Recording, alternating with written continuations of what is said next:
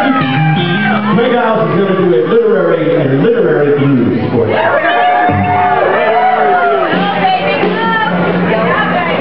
Haven't sung this song in a year. There